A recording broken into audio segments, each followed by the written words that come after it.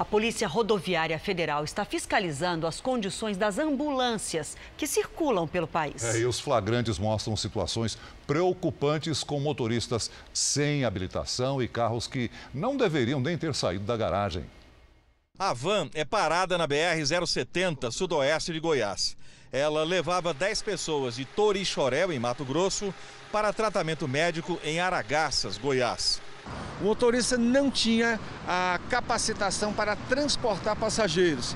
Além do que, era um veículo que estava com sem o tacógrafo, que é um equipamento importantíssimo para o veículo. Nesses casos, a ambulância é liberada para que leve os doentes, mas o motorista é notificado. As multas vão ser aplicadas.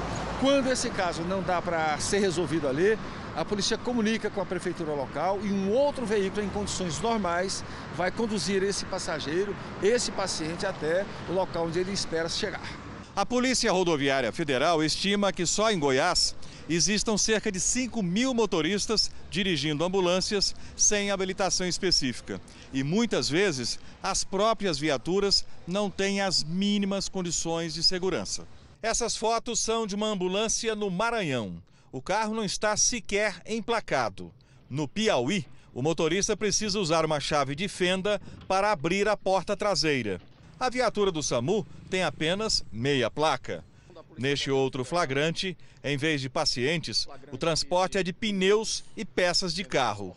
Em Goiás, a ambulância transportava uma senhora e uma criança sem cinto de segurança. Isso daqui, ó, não é um cinto de segurança. Isso aqui foi só algo que eles colocaram aqui para fingir que faz segurança. Um veículo que você transporta excesso de pessoas, que você transporta cargas, que está com pneus ruins, veículo está em mau estado de conservação, conduzido por alguém que não tem competência, coloca em risco a vida dele, dos passageiros que ele transporta e de todos os outros que dirigem de forma correta.